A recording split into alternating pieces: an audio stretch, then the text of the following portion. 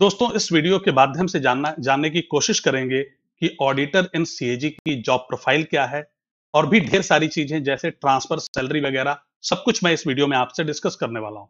नमस्कार दोस्तों, मेरा नाम है तेज प्रताप।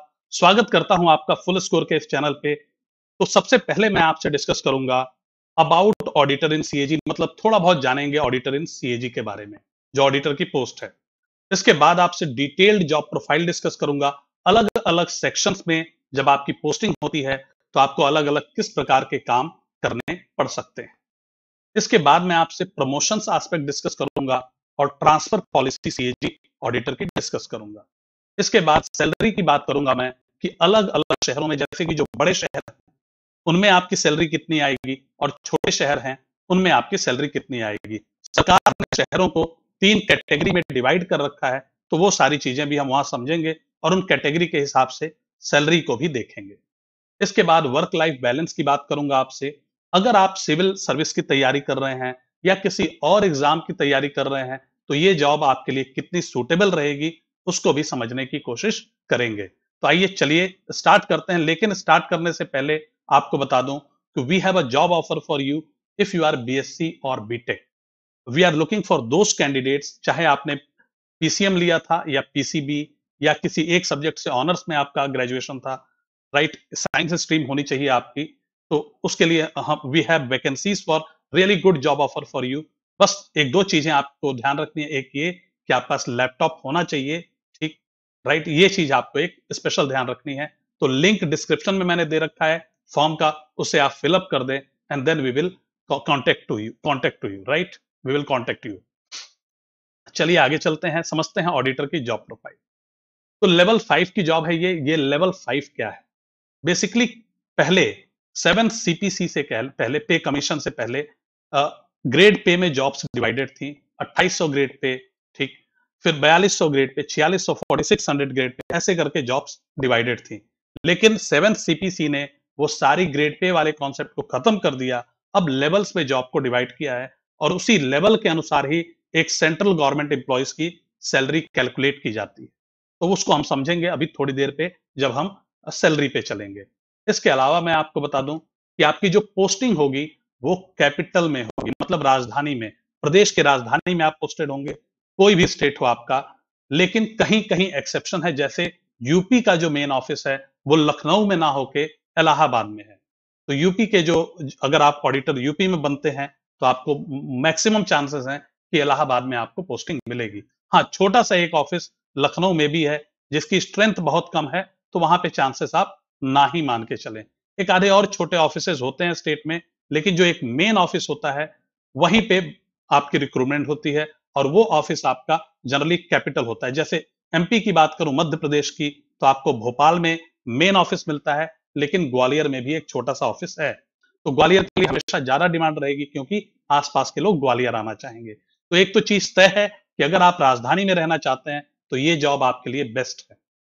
तो आपकी मतलब आप अगर फ्यूचर प्लान करते हैं राजधानी में तो उसके लिए मतलब ये काफ़ी अच्छी जॉब हो सकती है। एक चीज़ और है कि इस जॉब में ट्रांसफ़र बिल्कुल भी नहीं रहेगा, क्योंकि स्टेट में आपको सिंगल ऑफ़िस या एक दो ऑफ़िस मिलते हैं।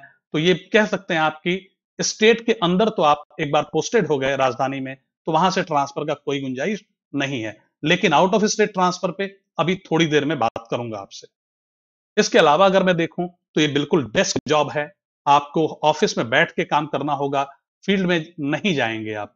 लेकिन कभी कभार आपको फ़ील्ड में भी पोस्टिंग मिल सकती है, आपको मौका मिल सकता है ऑडिट, रियल ऑडिट करने का, जाके अलग अलग गवर्नमेंट डिपार्टमेंट्स का।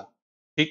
तो बेसिकली अगर मैं बोलूँ कि आपको गवर्नमेंट डिपार्टमेंट्स के ऑडिट के चांसेस कम मिलेंगे, रीजन वहाँ पे अधिकतर असिस्टेंट ऑडिट ऑफिसर जाते हैं सीनियर ऑडिट ऑफिसर जाते हैं और जो डबल एज मतलब जो सीनियर ऑडिटर को भी चांस दिया जाता है ऑडिटर कम ही जाते हैं। लेकिन यहाँ पे कभी कभी ये कोई रूल नहीं है कि आप बिल्कुल नहीं जाएँगे। आपके स्टेट चीफ चाहे तो वो कह सकते हैं कि ऑडिटर्स भी फ्रीक्वेंटली जाने चाहिए, क्योंकि उन्हें भी हमें ट्रेन करना है, हमें फ्यूचर वर्कफोर्स बनानी है। कई स्टेट में ऐसा हुआ भी है। ठीक? तो आपको भेजा जा सकता है, लेकिन उससे पहले आपसे विलिंगनेस मांग ली जाती है, क्योंकि ऑडिटर्स की संख्या बहुत ज़्यादा रहती है। तो देख लेते हैं कि एक बार भाई कितने लोग जाने को तैयार हैं। तो अगर ऑडिटर्स जितने भी हैं, उसमें से पंद्रह परसेंट भी फ़ील्ड पे हैं तो ये एक ठीक ठाक आप कह सकते हैं वो है fifteen twenty percent right otherwise generally आप ऑफ़िस में रहेंगे। अच्छा आप जॉब प्रोफ़ाइल पे आते हैं। जॉब प्रोफ़ाइल देखिए डिपेंड करता है सेक्शन टू सेक्शन किस सेक्शन में आप पोस्टेड हैं। तो मैं, इतने ज़्यादा सेक्शंस होते हैं एक ऑफ़िस में कि एक पूरी लाइफ बीत जाती है एक एम्प्लॉय की लेकिन वो सभी मतलब डिपार्टमेंट में सभी सेक्शंस में पोस्टेड नहीं हो पाता है। इतने ज़्यादा सेक्शंस हैं। कभी कभी एक ही सेक्शन में आपकी पोस्टिंग सात आठ साल भी रह जाती है डिपेंड करता है। तो एडमिन सेक्शन की मैं सबसे पहले आपसे बात करूँगा, जिसको हम एडमिनिस्ट्रेटिव सेक्शन के नाम से भी जानते हैं राइट ये सेक्शन जो है, ये सारी चीज़ें डिसाइड करता है ज्वाइनिंग ट्रांसफर्स वगैरह। मतलब आपके घर जो ज्वाइनिंग लेटर आता है, वो एडमिन सेक्शन ही आपको भेजता है। इसके बाद जब आप ज्वाइन करने पहुँचेंगे तो पहली बार आपका जो इंट्रेक्शन होगा जिस सेक्शन से, वो एडमिन सेक्शन होगा। वहाँ पे आप सारी फॉर्मेलिटीज कंप्लीट करेंगे और उसके बाद admin section with permission of higher authorities जो अपॉइंटिंग अपॉइंटिंग अथॉरिटीज वगैरह हैं, या जो डिसाइडिंग अथॉरिटी हैं, उनके परमिशन से फिर आपको एक सेक्शन अलॉट कर देता है। कोई दूसरा सेक्शन अलॉट कर दिया जाएगा जनरली ठीक? तो ये आपकी ज्वाइनिंग देखता है। अगर आपका मान लीजिए इंटरनल ट्रांसफ़र होता है ऑफ़िस के अंदर ही आपको एक सेक्शन से दूसरे सेक्शन में तो वो लेटर भी आपको एडमिन सेक्शन से ही आता है। इसके अलावा प्रमोशन जब आपके होंगे, तब भी आपकी फॉर्मेलिटीज में एडमिन सेक्शन इन्वॉल्व रहेगा। डेपुटेशन की बात करूँ तो डेपुटेशन ये होता है बेसिकली मान लीजिए कि एक दिल्ली में ऑफ़िस है सीएजी एजी का, और एक आप बैठे हुए हैं मान लीजिए कि आप इलाहाबाद या आप पटना या आप बैठे हुए हैदराबाद। तो अब ये जो ऑफ़िस है, दिल्ली वाला, इसे मान लीजिए कुछ स्टाफ कम है इसके पास, कुछ ऑडिटर्स इसे चाहिए। तो ये निकालता है, एक लेटर सर्कुलेट करता है सभी स्टेट ऑफ़िस को और कहता है, जी, हमें ऑडिटर्स की रिक्वायरमेंट है, आप अपने यहाँ से कुछ ऑडिटर्स भेज सकते हैं क्या? तो जो ये आपके यहाँ नोटिस बोर्ड पे लगा दिया जाता है कि जी डेपुटेशन पे रिक्वायरमेंट है दिल्ली ऑफ़िस को, ठीक? और फिर आपसे विलिंगनेस मांगी जाती है और कुछ लोग दिल्ली चले आते हैं। ये सिर्फ़ दिल्ली की बात नहीं है अलग अलग दूसरे डिपार्टमेंट्स भी, या सिर्फ़ सीएजी की बात नहीं है, दूसरे विभाग भी, जैसे मान लीजिए इसरो है डीआरडीओ है, या कोई भी अन्य विभाग, वो कह सकता है, जी, हमें, हमारे यहाँ अकाउंट्स के प्रोफेशनल्स की रिक्वायरमेंट है, ये ये कंडीशन वो फुलफिल कर रहे हो तो आप हम, हमें उनको डेपुटेशन पे भेज दो हमारे यहाँ। ठीक? तब भी आप उस केस में, आप मान लीजिए कि अभी पोस्टेड थे रायपुर थे छत्तीसगढ़ में, और अभी आप आ गए कहाँ पे? पंजाब जा सकते हैं आप, अगर वहाँ पे डिप्टेशन ऐसा आया हुआ है तो। तो खैर, ये सारी फॉर्मेलिटीज भी कौन कंप्लीट करेगा? एडमिन सेक्शन इसमें इन्वॉल्व रहेगा। इसके अलावा रिटायरमेंट के टाइम या फिर अगर कोई डिसिप्लिनरी प्रोसीडिंग चल रही हो किसी के खिलाफ तो जो फाइनल चीज़ें होती है, उसमें भी एक एडमिन सेक्शन का काफ़ी इंपॉर्टेंट रोल रहता है। तो हम कह सकते हैं कि इस इस सेक्शन से हमारा बार बार पाला पड़ता होता है तो इसलिए हमें हमें ये सेक्शन एक जो है, एक पावरफुल सेक्शन माना जाता है। लेकिन यहाँ पे हमेशा चुस्त और दुरुस्त लोगों को ही नियुक्त किया जाता है, जो कि काम को सही समय पे कंप्लीट कर सकें और जिनको काम करने में मतलब कोई आलस ना हो, ऐसे लोगों को ही दिया जाता है। पावरफुल है, लेकिन रिस्पॉन्सिबिलिटीज भी बड़ी लेके आता है ये। ये सेक्शन लगातार हायर अथॉरिटीज से इंटरेक्ट करता है। आपके जो स्टेट चीफ होंगे उनसे, उनके नीचे जो मातहत लोग हैं, उनसे भी इंटरेक्ट करता है। तो ऑब्वियसली ये एक ऐसा सेक्शन है, जो बहुत ही इंपॉर्टेंट सेक्शन है ऑफ़िस का आधार स्तंभ आप कह सकते हैं। वैसे तो सभी सेक्शन इंपॉर्टेंट हैं, लेकिन ये सेक्शन काफ़ी इंपॉर्टेंस रखता है। इसके बाद जो अगले सेक्शन से आपका पाला पड़ेगा, वो है बिल्स सेक्शन यहाँ पे आपकी सैलरी वगैरह बनाई जाती है। मेडिकल क्लेम्स कोई बीमार पड़ा, कुछ ऐसा मेडिकल क्लेम्स वगैरह, ये लोग सेटल करते हैं। या फिर आपको सरकार अपने, जहाँ भी आप पोस्टेड है, वहाँ से अपने होम स्टेट होम टाउन तक आने के लिए एलटीसी का प्रोविज़न देती है, जिसका खर्चा सरकार वहन करती है। कभी कभी जैसे आप अंडमान निकोबार वगैरह भी कुछ लोग घूमने जाते हैं तो उसकी जो बिल होते हैं, वो रिम्बर्स कराने का आपका पूरा काम बिल सेक्शन का है, यहीं पे आप कराते हैं। अच्छा एडमिन सेक्शन हो या बिल सेक्शन हो, यहाँ पे भी बल्क में एडमिन में बल्क में ऑडिटर्स की पोस्टिंग रहती है बिल सेक्शन में भी ऑडिटर्स की पोस्टिंग रहती है। ऑब्वियसली आप यहाँ पे डबल एओ या सीनियर एओ के नीचे काम कर रहे होंगे। इसके बाद वेलफेयर सेक्शन एक बड़ा इंपॉर्टेंट सेक्शन है। जब आप जाएँगे, पहली बार ज्वाइन करेंगे तो जो आपका आईडी कार्ड बनेगा, वो वेलफेयर सेक्शन बनाता है। साथ में आप क्वार्टर अगर लेना चाहते हैं, सरकारी आवास तो इसकी भी सारी फॉर्मेलिटीज आप वेलफेयर सेक्शन के साथ कंप्लीट करते हैं। आपकी ऑफ़िस में कोई ट्रेनिंग हो रही है, मान लीजिए जनरल मैनेजमेंट ट्रेनिंग या कुछ ऑडिटिंग की ट्रेनिंग चल रही है ऑफ़िस के अंदर तो उसमें ये जो वेलफेयर सेक्शन है, ये इन्वॉल्व रहता है। इसी के देख रेख में वो सारी ट्रेनिंग कंप्लीट कराई जाती है। इसके अलावा आपको आपके ऑफ़िस का जनरल मेंटेनेंस का सारा काम भी वेलफेयर सेक्शन के पास होता है। तो अगर ये सेक्शन कमज़ोर पड़ा तो ऑफ़िस हिल सकता है। तो इस सेक्शन पे भी, में भी जो एम्प्लॉयज़ होंगे काफ़ी चुस्त दुरुस्त और तेज आदमी लोग रखे जाते हैं। तो आप देख सकते हैं बिल सेक्शन जिससे लगातार आप इंटरेक्ट करेंगे वेलफेयर सेक्शन से आपको इंटरेक्ट करना पड़ेगा एडमिन सेक्शन से। लेकिन यहाँ पे उन्हीं ऑडिटर्स को पोस्ट किया जाता है जो जो काम को बखूबी कर सकें अदरवाइज़ आपका ट्रांसफ़र दूसरे सेक्शन में कर दिया जाएगा। ठीक? इसके बाद और भी बहुत सारे सेक्शन हैं, जैसे E and R S A होगा इकोनॉमिक एंड रेवेन्यू ये बेसिकली ऑडिट वगैरह देखता है, ठीक है? इसके बाद आपको मिलेगा लोकल ऑडिट बॉडी का सेक्शन और भी तमाम सेक्शन मिलेंगे, ये डायरेक्टली ऑडिट में इन्वॉल्व रहते हैं। तो यहाँ पे जिन ऑडिटर्स की पोस्टिंग होगी, वो जो ऑडिट रिपोर्ट जो लोग फ़ील्ड में गए हैं डबल एओ सीनियर एओ या सीनियर ऑडिटर्स ऑडिटर्स उन्होंने सबमिट किया, उसको कंपाइल करना, उसमें सही तरीके से सारी चीज़ें देखना, क्या मिसिंग है, क्या है, क्या नहीं है, उन सारी चीज़ों में आप इन्वॉल्व रहते हैं। इसके बाद एक सेक्शन होता है फाइनेंशियल ऑडिट विंग का। अगर आपने ये सेक्शन ज्वाइन किया है, आपको इसमें मतलब अपॉर्चुनिटी मिली है तो आपको बेसिकली जितनी भी ऑडिट जो कंप्लीट हो जाती है, आपके जो भी मतलब अधिकारी गण हैं, उस, उन्होंने उसको अप्रूव कर दिया कि भाई ये जो ऑडिट ये जो हमने गलतियाँ पाई हैं ऑडिट करते वक्त, उसको अब हमें क्या करना है? हमें अपनी रिपोर्ट में छापना है। तो किताबें तैयार होती हैं, वो एफएडब्ल्यू के अंदर तैयार होती हैं, एक रिपोर्ट सेक्शन भी आपको मिलेगा। तो एफ़ रिपोर्ट्स में वगैरह में भी इन्वॉल्व रहता है, और जब ये किताबें छप जाती हैं तो यही किताब आपके रखी जाती है, कहाँ पे? आपके गवर्नर को प्रेजेंट की जाती है, जो इसको रखते हैं फिर आगे, ठीक? तो ये बात हो गई थोड़ी सी। राइट, फाइनेंशियल ऑडिट विंग की। इसके बाद में बात करूँ तो दो और इंपॉर्टेंट सेक्शंस आपको मिलेंगे डीएजी सेक्रेटेरिएट डीएजी मतलब डेप्यूटी अकाउंटेंट जनरल ये जनरली आईए एंड एएस से आते हैं यूपीएससी के थ्रू तो एक आपके पावरफुल पोस्ट होती है। और कुछ लोग प्रमोटेड जो कि रेयर है, वो भी इस पोस्ट पे पहुँचते हैं। तो यहाँ पे इनका एक पूरा सेक्रेटेरिएट होता है, और उसमें भी आपकी पोस्टिंग हो सकती है। वहाँ पे भी आपको अलग अलग तरीके का एडमिनिस्ट्रेटिव वर्क करना पड़ेगा। ठीक, यहाँ पे लेट होने का मतलब बहुत दिक्कत हो सकती है क्योंकि आप डीएजी के अंडर में होते हैं। तो आपको बड़ा ही ध्यान से जॉब करनी होती है। इसके अलावा एजी सेक्रेटेरिएट भी होता है। बड़े स्टेट में पीएजी होते हैं तो वहाँ पे पीएजी सेक्रेटेरिएट रहेगा। इसमें senior AOs double AOs senior auditors auditors वगैरह होते हैं। और ये एजी का सचिव ये एजी का सचिवालय है और एजी जनरली या पीएजी स्टेट का चीफ होता है। तो स्टेट का चीफ मतलब स्टेट का जो सचिवालय एजी का सचिवालय है, वो कनेक्ट होता है सीएजी ऑफ़िस दिल्ली से। तो ये सारे मतलब आदान प्रदान जो है, सारी चीज़ें एडमिनिस्ट्रेटिव इनके देख रेख में की जाती ठीक? तो यहाँ पे भी आपकी पोस्टिंग हो सकती है। ये बड़े क्रुशल विंग हैं। यहाँ पे गलतियों की कोई गुंजाइश आपको नहीं रहेगी। ठीक? इसके अलावा प्रमोशन की बात करते हैं, आइए। प्रमोशन की बात करूँ तो ऑडिटर से सीनियर ऑडिटर आप एक छोटा सा ऑडिटर का कंफर्मेटरी एग्ज़ाम होता है, आपने क्लियर किया, आपका प्रमोशन आएगा, आप सीनियर ऑडिटर बन जाएँगे। ये टाइम बाउंड प्रमोशन है एग्ज़ाम की कोई ज़रूरत इसमें नहीं है। अब सीनियर ऑडिटर बन गए आप और आप बहुत ही आलस में हैं कि भैया मुझे तो असिस्टेंट ऑडिट ऑफिसर नहीं बनना है।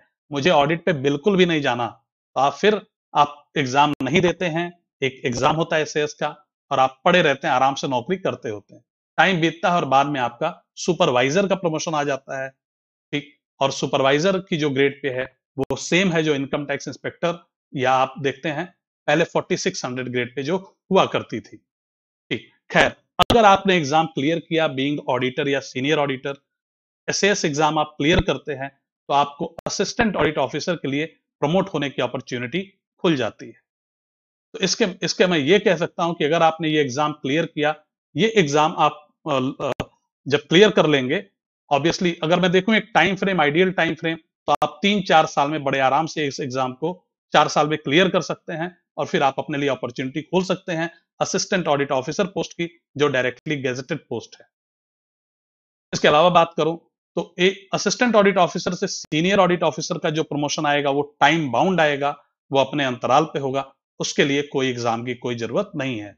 और इसके बाद अगला प्रमोशन जो है, वो डेप्टी अकाउंटेंट जनरल यानी कि डीएजी का होता है। और डीएजी के लेवल पे अधिकारी यूपीएससी से भी आते हैं आईए एंड एएस के थ्रू आते हैं Indian audit and account services के थ्रू आते हैं। तो ये जो अधिकारी होते हैं बेसिकली यहाँ पे इसलिए जो है प्रमोशंस कम होते जाते हैं। तो अगर कोई पर्सन है जो कैटेगरी से हैं, आप S C S T category से हैं तो आपके प्रमोशन के चांसेस और आपने ठीक ठाक एज में ज्वाइन कर लिया है यंग एज में तो आपके डीएजी बनने के भी चांसेस रहते हैं जो कि यूपीएससी कैडर हो जाता है फिर। यहाँ पे ऑल इंडिया लाइबिलिटी क्रिएट हो जाती है मतलब अब जैसे ही आप डीएजी बनेंगे ऑल इंडिया ट्रांसफ़र के लिए आप आ, मतलब हो जाएँगे लाइबल ठीक है? तो भाई इसके बाद ट्रांसफ़र की बात करूँ अगर मैं इंडिया लेवल पे ट्रांसफ़र देखूँ जैसे आप एक स्टेट में पोस्टेड हैं आपकी पोस्टिंग राजस्थान के जयपुर में है और आप बिलोंग करते हैं हरियाणा से आप चाहते हैं मैं चंडीगढ़ आ जाऊँ तो वो समझ लीजिए कि लगभग लगभग नेक्स्ट टू इम्पॉसिबल है। विंग्स अलग अलग हैं विंग्स के हिसाब से ट्रांसफ़र भी हैं, लेकिन ऑडिटर लेवल पे बहुत मुश्किल है और सीनियर ऑडिटर लेवल पे। आप डबल एओ बनिए तो कुछ विंग्स आपको अपॉर्चुनिटी देंगे कि आप ट्रांसफ़र ले सकते हैं आफ्टर अ पीरियड उसमें भी पीरियड होता है। ठीक तो ये ढेर सारे विंग्स हैं और सिविल वगैरह मिल गया पीएनटी है तो यहाँ पे ट्रांसफ़र की गुंजाइश नहीं है, ना के बराबर। कॉमर्शियल वगैरह में डिफेंस में ट्रांसफ़र आपको मिल जाएँगे। तो ये डिपेंड करता है विंग पे फिर भी आप मान के चलने की ट्रांसफ़र जो स्टेट आपको अलॉट हो गया वहीं आपको रहना है। अब ट्रांसफ़र की ये बात हुई लेकिन एक तरीके का ट्रांसफ़र होता है जिसे हम म्यूचुअल ट्रांसफ़र बोलते हैं म्यूचुअल ट्रांसफ़र मतलब मान लीजिए कि मे, मेरी ज्वाइनिंग जयपुर में है राजस्थान में और कोई आर्मी है हरियाणा का जो कि पोस्टेड है आपका आपके चंडीगढ़ में और वो मेरे साथ मैं आना चाहता मतलब मैं आना चाहता हूँ चंडीगढ़ और वो जाना चाहता है जयपुर तो ये चेंजेस कर सकते हैं। मैंने थोड़ा सा स्टेटमेंट को गलत कर दिया। मान लीजिए मतलब मेरा कहने का मतलब ये है कि मैं हूँ यूपी में, ठीक है? मैं हूँ यूपी में, लेकिन मैं बिलोंग करता हूँ एमपी से और आप हैं एमपी में पोस्टेड बिलोंग करते हैं यूपी से तो हम आपस में म्यूचुअल ट्रांसफ़र के लिए अप्लाई कर सकते हैं। उसके लिए भी ढेर सारी क्राइटेरियाज हैं जिनको आपको फुलफिल करना होता है। इसके बाद सैलरी की बात करूँगा आपसे। अगर आप देखिए ग्रुप एक्स सिटीज़ में पोस्टेड हैं, जिसमें चिन्हित सिटीज़ हैं नोटिफाइड हैं वो, दिल्ली, मुंबई वगैरह, ठीक है ग्रुप एक्स सिटीज़ तो यहाँ पे जो आपको सैलरी ग्रॉस सैलरी बनती है आपकी, वो बयालीस हज़ार एक सौ चार रुपए, यानी कि forty two thousand one hundred four rupees अब देखेंगे जब ग्रुप वाई की सैलरी तो वो सैंतीस हज़ार थर्टी एट थाउज़ेंड के अराउंड रहेगी, और ग्रुप जेड सिटीज़ में थर्टी सिक्स थाउज़ेंड के अराउंड तो इस सैलरी में इतना डिफरेंस क्यों है? डिफरेंस का एक कारण होता है हाउस रेंट अलायंस एच जो है ग्रुप ग्रुप एक्स सिटीज़ में वो बहुत ज़्यादा आप देख सकते हैं सेवन थाउज़ेंड और ग्रुप वाई में फोर्टी सिक्स हंड्रेड और ग्रुप जेड में ट्वेंटी थ्री हंड्रेड तो ये एक बहुत बड़ा रोल प्ले करता है सैलरी के डिफरेंस में। इसके अलावा भी ट्रांसपोर्ट अलायंस भी है, वो भी थोड़ा सा रोल 1800 का अंतर लाता है। तो ये आपको सैलरी आप अपने शहर के हिसाब से देख सकते हैं कि आपकी ग्रॉस सैलरी कितनी बनेगी। इसी पे थोड़े ऐसे डिडक्शन होते हैं। और उसके बाद आपकी नेट सैलरी जो इन हैंड आपको आती है, वो बनती है। सैलरी पे एक डिटेल वीडियो अलग से बनाऊँगा मैं। इसके बाद वर्क लाइफ बैलेंस की बात करते हैं। तो खैर, बहुत ही लेस हेक्टिक जॉब आप कह सकते हैं मॉडरेट वर्कलोड है, लेकिन मैंने आपसे ढेर सारे सेक्शंस की जानकारी डिस्कस की। उसमें अगर आपकी पोस्टिंग डीएजी सेक्रेटेरिएट में हो जाती है एडमिन में हो जाती है बिल्स में हो जाती है तो आप समझ सकते हैं कि बिल्स में आपको सैलरी जैसे आप क्रूशल इश्यूज़ से डील करेंगे तो आप वहाँ पे लापरवाही बिल्कुल भी चांस नहीं है तो वहाँ पे आपको बढ़िया से काम करना पड़ेगा। तो एक वर्कलोड रहेगा, ठीक है? उसके लिए भी आपको तैयार होना है। ये नहीं है कि मतलब इस पर्टिकुलर जॉब में कोई वर्कलोड नहीं रहेगा या ऐसा किसी भी जॉब में नहीं होता। डिपेंड करता है आपकी सीट पे। आपको कौन सा सेक्शन अलॉट होता है। बात करूँ आगे तो जो भी लोग कॉम्पिटेटिव एग्ज़ाम की तैयारी कर रहे हैं, उनके लिए बहुत अच्छी जॉब है मेरे ख्याल से ये, ठीक? इसके अलावा मुझे नहीं लगता कि इससे बेहतर कोई जॉब होगी सीजीएल में, ठीक तो एक कॉम्पिटेटिव एग्ज़ाम्स वाले डेफिनेटली अगर आपके नंबर आसपास हैं इसके तो आप इसको ऑप्ट कर सकते हैं और अगर आपको ये मिल जाए तो आपको एक अच्छी तैयारी करने में आपको एक टाइम मिलेगा, तैयारी कर पाएँगे आप, ठीक है so my dear friends That's all in this video. Thank you, everyone. I'm ending it. Thanks a lot. Have a nice day. Bye.